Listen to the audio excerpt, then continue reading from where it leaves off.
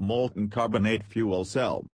Introduction The molten carbonate fuel cell uses a molten carbonate salt as the electrolyte.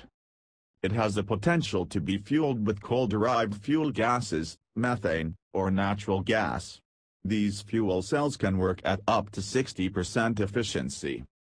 In molten carbonate fuel cells, negative ions travel through the electrolyte to the anode where they combine with hydrogen to generate water and electrons. Molten carbonate fuel cells are currently being developed for natural gas and coal-based power plants for electrical utility, industry, and military applications. Corrosion-resistant materials for components as well as fuel cell designs are being exposed that increase cell life without decreasing performance. The primary disadvantage of current technology is durability.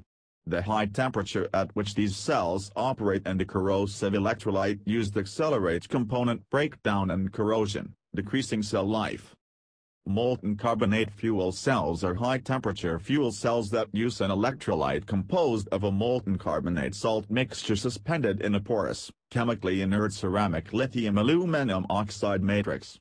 Since they operate at extremely high temperatures of 650 degrees Celsius and above, non-precious metals can be used as catalysts at the anode and cathode, reducing costs.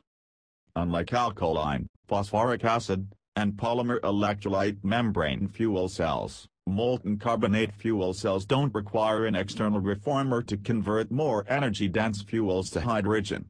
Due to the high temperature at which they operate, these fuels are converted to hydrogen within the fuel cell itself by a process called internal reforming, which also reduces cost.